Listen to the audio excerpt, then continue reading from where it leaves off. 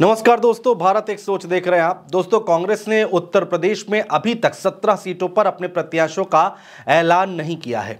लेकिन एक सीट ऐसी है जहाँ पर प्रत्याशी तय हो गया है, और वो सीट है अमरोहा लोकसभा सीट। अमरोहा सीट पिछली बार बीएसपी ने जीती थी। कुंवर दानिश अली चुनाव जीते थे बहुजन समाज पार्टी के टिकट पर, लेकिन बीएसपी ने उन्हें पार्टी से निकाल दिया था।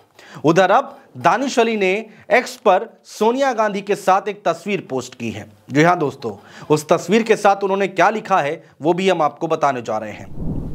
दानिश अली ने लिखा है कि सोनिया गांधी जी से मिलकर अमरोहा से अपने दूसरे चुनाव के लिए आशीर्वाद लिया।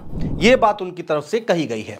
यानी दानिश अली ने अमरोहा से कांग्रेस सा सपा गठबंधन से अपनी दावेदारी को पक्का कर दिया है। और बता दिया है सोशल साइट पर कि वो अमरोहा से चुनाव लड़ने जा रहे हैं, वो भी इंडिया गठबंधन के साथ।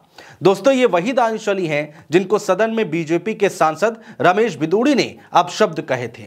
इसके बाद राहुल गांधी इनसे मिलने पहुँचे थे और कई नेताओं ने मुलाकात भी की थी। राहुल गांधी की भारत जोड़ो यात्रा जब अमरोहा पहुँची, तब दानिश अली कांग्रेस में शामिल हो गए थे। 2019 के चुनाव में अमरोहा में दानिश अली को करीब 6 लाख वोट मिले थे और बीजेपी के कंवर सिंह तंवर की हार हुई थी। इस चुनाव में कांग्रेस के सचिन चौधरी को सिर्फ़ 12,000 वोट मिले थे दोस्तों। 2024 के चुनाव में बीजेपी ने अमरोहा से कंवर सिंह तंवर और बीएसपी ने डॉक्टर मुजाहिद हुसैन को टिकट दिया। बात अगर अमरोहा के समीकरण की करें तो अमरोहा में दलित वोटर्स की अच्छी खासी तादाद है, जबकि इस सीट पर मुस्लिम आबादी करीब 20 फ़ीसदी के आसपास है। जाट, गुर्जर, सैनी जातियों का भी यहाँ पर असर देखने को मिलता है। हालाँकि, दो मुस्लिम प्रत्याशी अगर लड़ते हैं तो बीजेपी इसका फ़ायदा उठाने की कोशिश भी करेगी।